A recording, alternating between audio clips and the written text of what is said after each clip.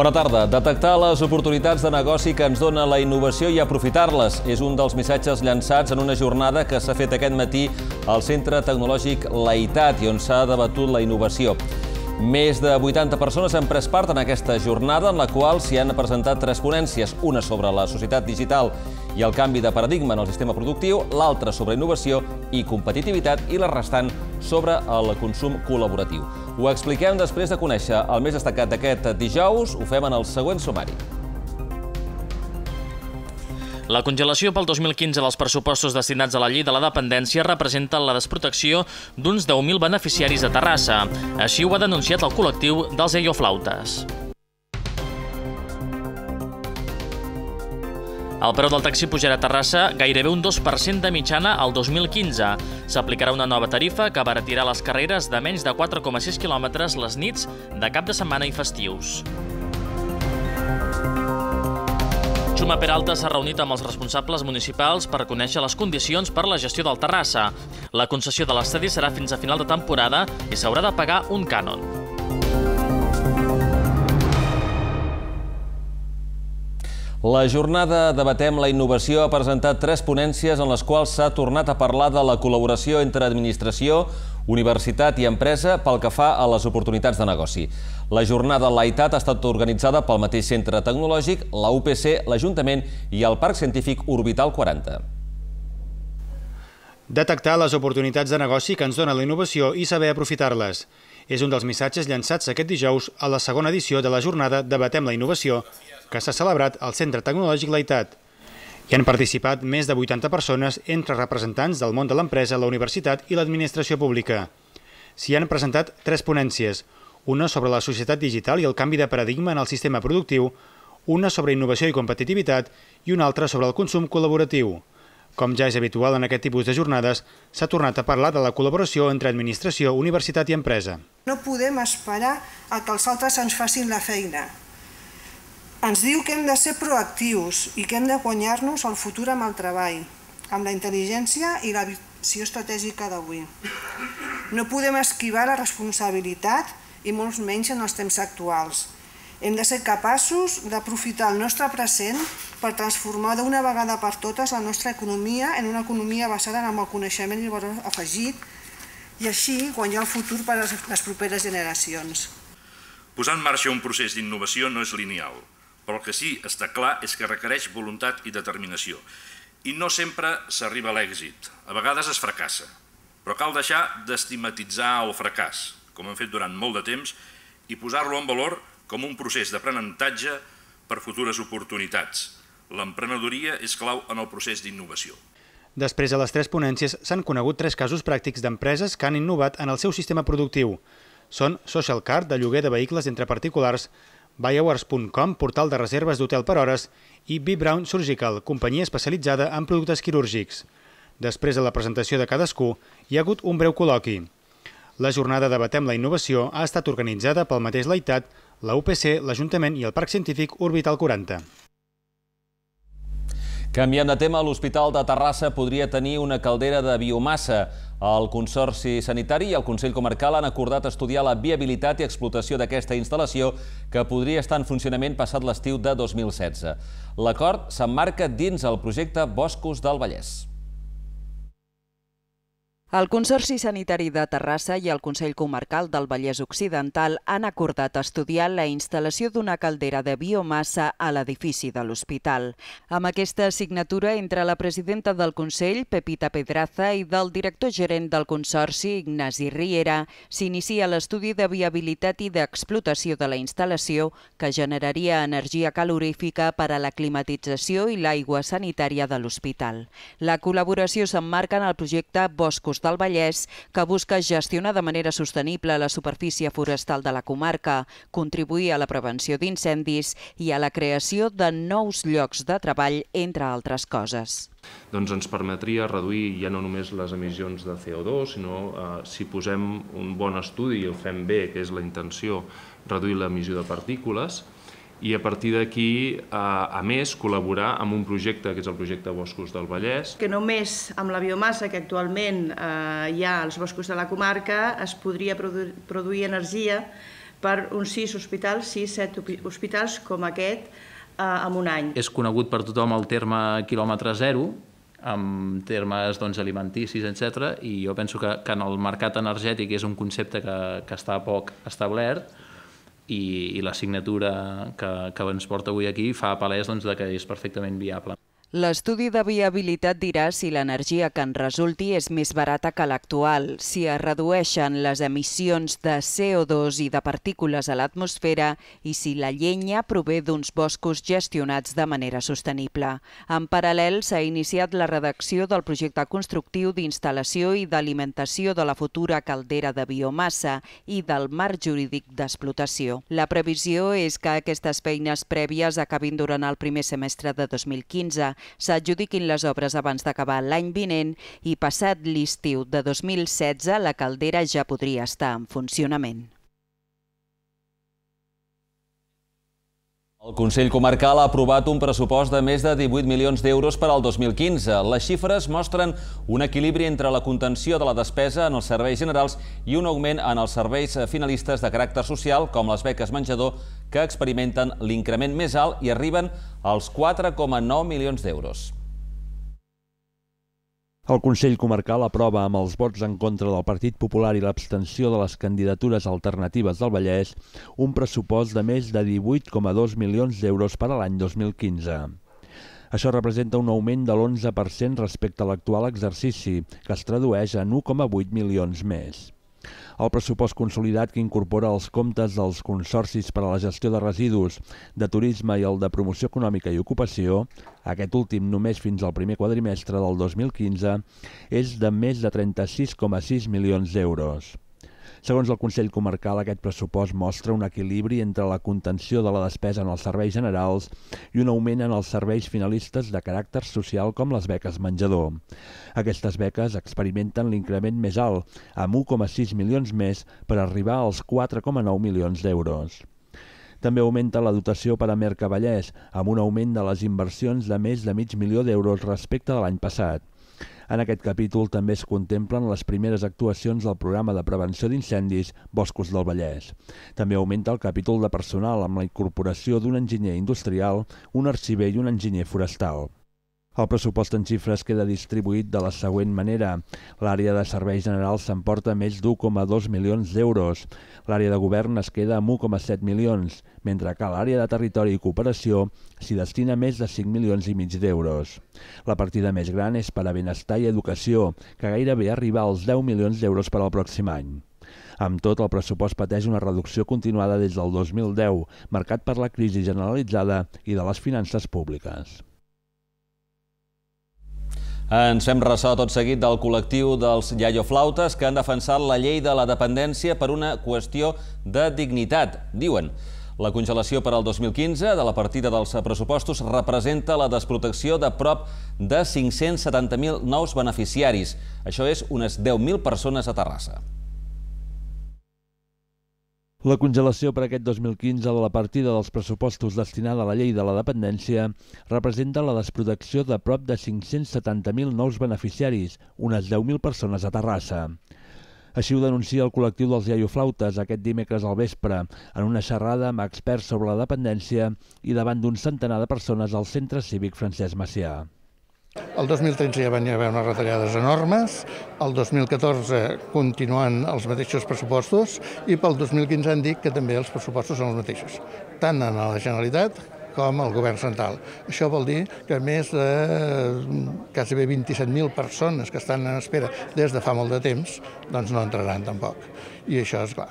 Són gent també doncs, que eh, estan poc organitzades, no tenen massa força i per això els flautes hem pensat doncs, fer alguna cosa perquè això se pugui parlar i es pugui arreglar d'alguna manera. Els iaioflautes reclamen més places de residència públiques per a la gent gran, en una ciutat on no s'ha construït un equipament així des de fa 40 anys. L'acte Sant Pere Nord coincideix amb l'antiga aspiració dels veïns per a la construcció d'una residència d'avis pública, un projecte aprovat sense cap pressupost per a la seva construcció. La llei de la dependència va entrar en vigor a principis del 2007 i des d'aleshores ha patit diverses i freqüents retallades, des del canvi en el barem per a la prestació fins a la rebaixa del 50% en prestacions atorgades. Els iaioflautes convoquen una concentració aquest dijous a la plaça Nova a les 6 de la tarda, abans de la seva participació en el ple municipal. Atenció als habituals usuaris del servei del taxi. El preu del taxi a Terrassa pujarà prop d'un 2% de mitjana l'any vinent. Així ho ha demanat el sector. Destaca un nou complement tarifari que permetrà eliminar el suplement de les nits de cap de setmana i festius, abaratint les carreres de menys de 4,6 quilòmetres, que són les majoritàries a la nostra ciutat. Viatjar en taxi a Terrassa serà el 2015 un 1,92% més car. Aquest és l'increment mitjà sense IVA de les tarifes per l'any que ve proposat pels representants del sector, la Unió Local de Terrassa del Sindicat del Taxi de Catalunya, Top Taxi Terrassa i l'associació Nou Taxi Terrassa. Pel que fa als suplements, queden congelats tots, menys el suplement per festes, que disminueix un 55,4% amb un cost d'1,59 euros i s'aplicarà a les nits de Sant Joan, Nadal i Cap d'Any. El ple del mes de novembre n'ha de fer l'aprovació aquest dijous. Entre les novetats destaca un nou complement tarifari que permetrà eliminar el suplement de les nits de cap de setmana i festius, abaratir les carreres de menys de 4,6 quilòmetres, que són les majoritàries a la ciutat. També ha de reduir el cost inicial al pujar el taxi, que fins ara ha estat de 5,10 euros, corresponents a la baixada de bandera més el suplement. S'aplicarà els divendres de 10 a 12 de la nit, les vigílies de festius de 9 a 12 de la nit i els dissabtes, diumenges i festius des de les 9 de la nit i fins les 7 del matí. Pel que fa a la resta de preus, depenent de l'horari, el quilòmetre recorregut variarà dels 0,99 euros fins a l'1,31. La baixada de bandera anirà dels 2,45 als 3,47 euros i l'hora d'espera variarà entre els 18,37 euros i els 18,41. Per cert que en aquests últims dies ha entrat en funcionament una nova parada de taxis, la 14a, a l'hotel Terrassa Park.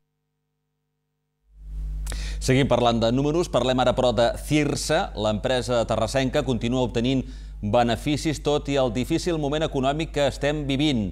Els primers nou mesos de l'any va obtenir un benefici operatiu de 241 milions d'euros.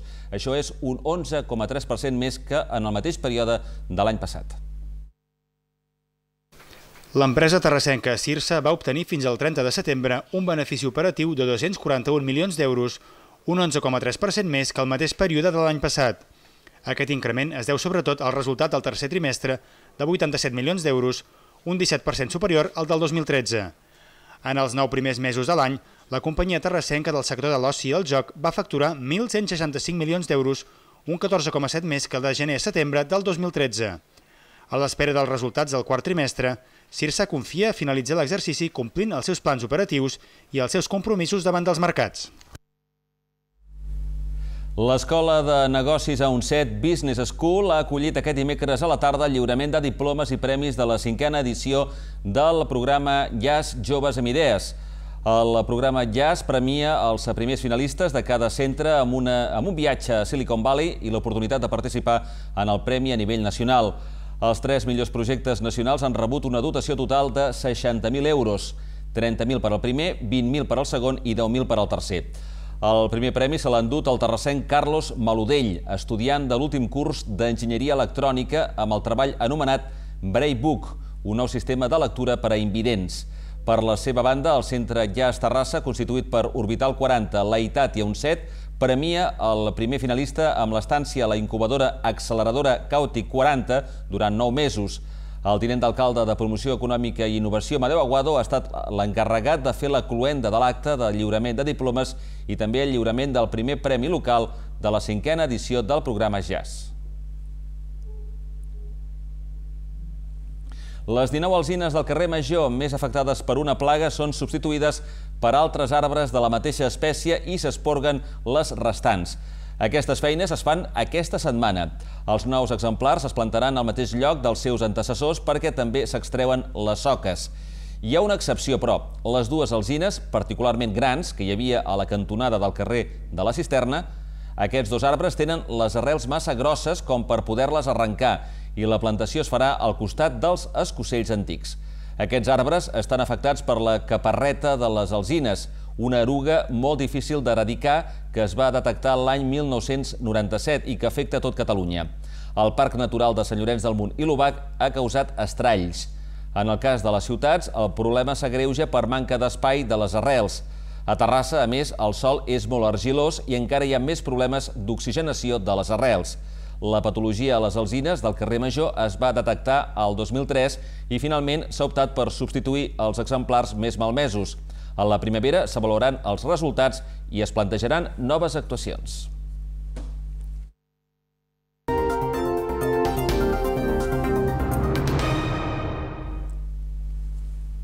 La sèpsia greu és l'evolució complicada d'un procés infecciós que pot conduir a la mort.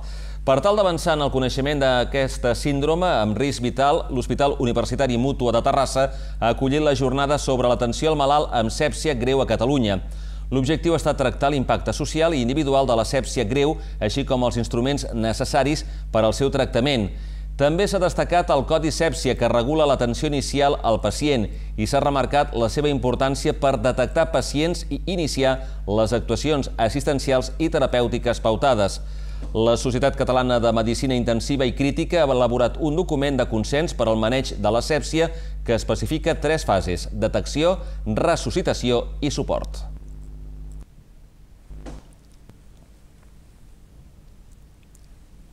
Seguim repassant aquesta setmana els diferents guardonats com a terrassencs de l'any. Recordem que aquest dissabte es fa la cerimònia de lliurament dels premis al Teatre Principal. Un dels guardonats és Juan Ramon Martínez, reconegut com tot un polifacètic de l'art des de diferents vessants. Teatre, pintura, escultura, passebrisme... Joan Ramon Martínez ha tocat moltes vessants artístiques al llarg de la seva vida, tot i que no s'hi ha dedicat professionalment, i ha estat precisament això el que l'ha donat a conèixer arreu de la ciutat.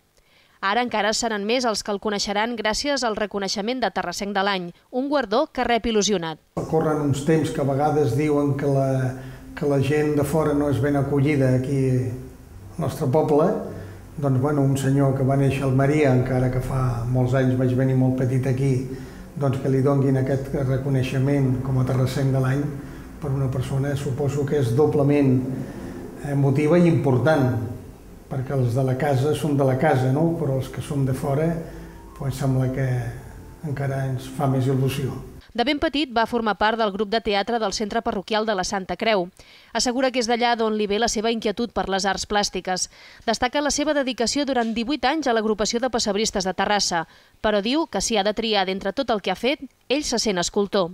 Sempre dic que hi ha persones que neixen per servir a l'art o a la cultura popular i persones que serveixen de l'art o de la cultura popular. Jo crec que jo sóc un servidor de l'art. Jo serveixo a l'art i per tant doncs puc estar amb l'escultura o si em necessiten en un altre lloc, doncs si la meva ajut és, és bo per ells, també és bon per mi. Eh? En Joan Ramon Martínez afirma que ha gaudit de tot el que ha fet i que el secret per fer-ho no és un altre que treure'n el màxim profit en el moment. Gaudir les coses s'han de gaudir en el, en el moment. No es pot gaudir de coses passades, viure de coses passades o gaudir del que serà, perquè la prova està a mi no se'm passava mai pel cap que pogués ser un dia el terracent de l'any, però ni se'm passava, i ha arribat. Vol dir que doncs, s'ha de gaudir les coses quan arriben. Eh, fer coses pensant en el que disfrutaràs quan arribi no sé què, sembla que és una pèrdua de temps. Només té paraules d'agraïment per totes aquelles persones que han confiat en ell al llarg de la seva trajectòria artística i assegura que el seu únic repte és continuar ajudant tothom que li demani. L'AMPA, l'Associació de Mares i Pares de l'Escola Bisbat d'Ègara, ha organitzat aquest dimecres al vespre una xerrada sobre el menjador ecològic. La trobada tenia l'objectiu d'orientar els pares i mares per tal d'esveir dubtes sobre un menjador escolar millor, tant des del vessant educatiu com del nutricional. Sota el títol de Menjador ecològic a l'escola han participat en la xerrada Soledad Onieva, dietista nutricionista, Juan Costa, de la cooperativa Més Eficiència Social, de menjadors socials, i Jordi Folk, de l'eina cooperativa d'educació en el lleure. Òmnium Cultural de Terrassa ha presentat les bases dels Premis Literaris de la nit del Misteri 2015. En aquest sentit, destaca el Premi Ferran Canyameres de novel·la d'intriga, el més antic del país, del seu gènere i amb la dotació més alta, malgrat haver-la hagut de rebaixar els darrers anys. L'edició número 24 del Ferran Canyameres admetrà originals fins al 30 de març de l'any vinent en el Premi de novel·la i fins al 30 d'abril en la resta de categories. Des de l'any 1996, Òmnium Cultural Terrassa, amb la col·laboració de l'Ajuntament, convoca aquest premi en homenatge a l'escriptor terrassenc, molt vinculat al món de la literatura juvenil i del gènere policíac. El guanyador s'endurà un premi de 5.500 euros. El veredicte es donarà a conèixer a la festa de la nit del misteri a la Nova Jascava el 25 de juny de l'any vinent. Altres premis literaris de la nit del misteri són el de les narracions curtes Ferran Canyameres, el Premi Maria Rovira de narracions curtes per alumnes d'ensenyament secundari i postobligatori, el Premi Montserrat Uller de narracions curtes per a alumnes de cicle superior de primària i el Premi de Poesia Enric Gall. El programa El submarí de la Ràdio Municipal de Terrassa surt demà divendres al carrer. El magazín conduït per Mariona Tomà s'instal·larà de 9 a 12 del matí a l'interior del Mercat de la Independència, on s'explicarà de primera mà com funciona aquest espai històric, aprofitant que eh, demà divendres és un dels dies de màxima activitat. Els protagonistes seran els paradistes i els clients. Hi haurà connexions en directe amb diferents espais i concursos en els quals es regalaran productes del mercat. A més, com cada divendres, també hi haurà la tertúlia política amb representants a l'Ajuntament. El submarí ja va sortir el mes passat a la llar de l'ancianitat. Just abans de Nadal visitarà un altre mercat, en aquest cas el Mercat del Triomf.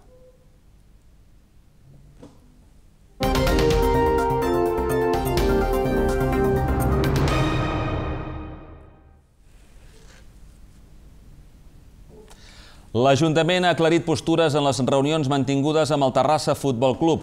Els responsables de l'àrea d'esports municipals han conegut de primera mà el projecte de l'empresari navarrès Xuma Peralta, que haurà de pagar un cànon per l'ús de l'estadi olímpic. També s'ha fet una reunió amb els directius del futbol base Terrassa. Xuma Peralta ja coneix de primera mà les condicions que ha imposat l'Ajuntament si s'acaba fent amb la gestió del Terrassa Futbol Club. L'empresari navarrès s'ha reunit amb els responsables d'esports municipals que li han deixat ben clar que la concessió de l'estadi olímpic serà fins a final de temporada i que haurà de pagar un cànon, uns diners que s'invertiran dins de la instal·lació municipal. No és que l'Ajuntament eh, tingui eh, cap interès en agafar diners. Nosaltres, en aquest sentit, i en defensa dels interessos de la ciutat, el que vam dir que marcarien un cànon que no seria, seria un cànon que després invertirien en millores de l'estadi. Peralta ha iniciat una auditoria per descartar qualsevol deute de la Societat Anònima Esportiva abans de fer-se amb les regnes del club. I també ha detallat a l'Ajuntament els acords amb el màxim accionista, Jesús Fernández. El consistori veu amb bons ulls el projecte i la plantilla es manté a l'expectativa. Bé, una valoració positiva en el sentit que es va, ell va explicar el seu projecte esportiu, una mica l'organigrama també que pensava, i sobretot un esperit de fer un projecte de ciutat. Lo que hay un poquito de, se puede decir, de, de inquietud, ¿no? inquietud de Mm, qué va a pasar, quién va a entrar, quién no va a entrar, qué, va a suceder, va a venir alguien nuevo. Por eso un poquito de inquietud, pero la, verdad es que el equipo estaba trabajando muy bien, estaba muy en su sitio, va, el, equipo va a hablar en el campo y a partir de ahí quien tenga que tomar decisiones ya la harán. De moment, la plantilla no ha cobrat la nòmina, tot i que hi ha el compromís de pagar-la a finals d'aquesta setmana. L'Ajuntament ja ha deixat clar Jesús Fernández que ha de ser ell, i no el futbol base Terrassa, qui ha d'assumir el pagament de la primera plantilla després dels endarreriments de l'última mensualitat. És un dels temes tractats en la reunió que els responsables municipals han mantingut també amb els directius de l'àrea formativa del club. L'Ajuntament s'ha prestat a fer de mediador per redactar el conveni que ha de regular les relacions entre les dues entitats. Crec que finalment eh, va ser una reunió profitosa en el sentit que es van aclarir determinades eh, partides que no estaven clares i que jo crec que havia faltat una manca de diàleg que ahir eh, tots al damunt d'una taula doncs, es van clarificar, realment es va posar de manifest un primer element que el Terrassa Futbol Club no havia desviat cap tipus de fons, un segon element que el futbol base ja havia fet per aquesta temporada una aportació que pràcticament és la que li correspondria i un tercer element, aquest conveni que ha de regular per aquesta temporada les relacions, que ens ven oferir des de l'Ajuntament a fer una proposta en dues parts. Públicament, el Futbol Base Terrassa ja ha donat el seu suport al projecte paral·lel al de Peralta, el de l'empresari Jordi Cuesta. L'Ajuntament ja ha suggerit a totes dues parts que s'asseguin per remar en una mateixa direcció pel bé del club i de la ciutat.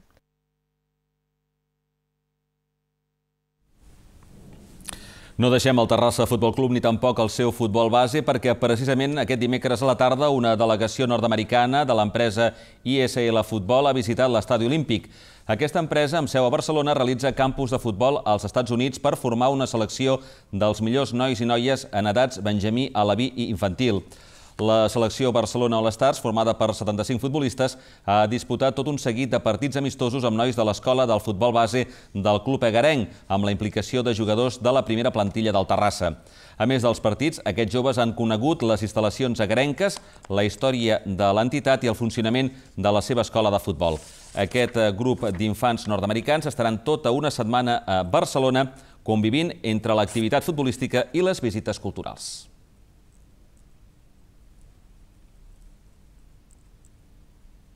El centre parroquial Sant Cristòbal va tancar la temporada 2013-2014 amb superàvit i redueix el pròxim pressupost un 17%. Per segon any consecutiu, l'entitat de Cananglada no té pèrdues i presenta un simbòlic superàvit. Així ho ha ratificat l'Assemblea del Club Parroquial.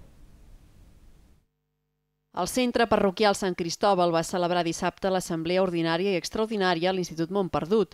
El club va fer balanç esportiu de la passada temporada, va presentar els comptes amb els que tanca el present exercici i també va informar del pressupost per a la propera temporada.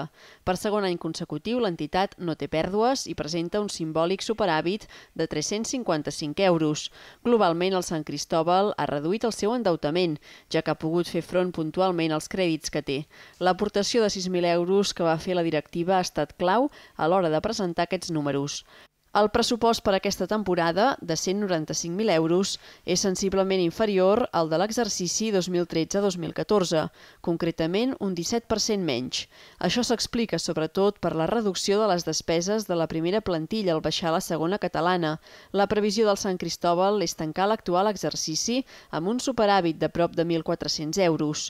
A nivell esportiu, la Junta Directiva Parroquial va assenyalar com a prioritat la recuperació de la categoria per part del primer equip, també vol mantenir el nivell dels seus equips de base i continuar apostant pel pàdel, una secció que guanya adeptes. Can Jofresa va acollir un any més el cross escolar. Es tracta de l'activitat esportiva més multitudinària que organitza el Consell Esportiu del Vallès Occidental Terrassa. Més de 3.600 nois i noies procedents de diferents escoles de la comarca van completar el recorregut. La zona esportiva municipal de Can Jofresa va acollir durant el cap de setmana el cross escolar del Consell Esportiu del Vallès Occidental Terrassa. Dissabte va ser el torn per als alumnes del cicle de secundària i diumenge per als de primària. Prop de 5.000 esportistes de totes les edats van inscriure's i més de 3.600 van arribar a la meta. Adela Zara Jurai, de l'Institut Copèrnic, i Ana Fuentes, de la Unió Atlètica Terrassa, es van imposar en juvenil. Per equips, la victòria va correspondre al Copèrnic. Kevin Fernández, del Joaquima de Badruna, i Laia Casajoana, del Montcau La Mola de Mata de Pere, van guanyar en cadet. L'Institut Torre del Palau va ser el primer classificat per equips. Ferran Amat, del Vedruna, i Ainhoa Martínez, del Liceo Egara, van ser els primers en passar per línia de meta en infantil de segon any, mentre que Didac Herraiz, del Liceo Egara, i Julia Martínez, de la UAT, van ser els guanyadors en infantil de primer any. L'Institut Torre del Palau, per partida doble, el de Can Jofresa i l'Escola Pia van pujar l'esglaó més alt del podi per equips. Pau Petxamé, de l'Escola Torre de Mer de Mata de Pere, i Meritxell Vizcaíno, de la Ginesta de Mata de Pere, van guanyant a la vida segon any, mentre que Joan Mateu, del Badruna, i Emma Serna, del França, es van imposar en primer any. Badruna, Torredamer, França i l'Escola Joan Maragall de Sant Cugat van ser els triomfadors per equips. En categoria Benjamí de segon any van vèncer Daniel Fernández de la UAT i Estel Patxamer del Torredamer, mentre que en primer any els guanyadors van ser Isaías Artigas del Joan Maragall i Bet Lozano de la UAT. Les escoles Tecnos, Torredamer, Mare de Déu del Carme i Maria Auxiliadora es van imposar per equips. Parlem de pàdel. Aquesta setmana ha arrencat a les instal·lacions del Club Natació Terrassa la tercera prova de l'Open Ciutat de Terrassa vis a vis. A la competició hi participen més de 150 jugadors repartits en un total de 9 categories, 3 masculines, 3 femenines i 3 més mixtes. Fins aquest divendres es disputaran els partits de la fase de grups, mentre que les semifinals i la final seran dissabte. Recordem que el Ciutat de Terrassa és un dels tornejos amateurs més importants que es fan a la ciutat i en aquesta edició han participat també l'Atlètic i el Terrassa Esports. Quan finalitzi aquesta tercera i última prova serà llavors quan es designaran els campions absoluts que obtindran la invitació per participar al Megamaster Vis a Vis, que se celebrarà al gener a les instal·lacions del VIP Vilanova Indoor Padel. En aquest campionat hi participen els 72 campions per categories dels quatre circuits, Sant Cugat, Granollers, Terrassa i Maresme.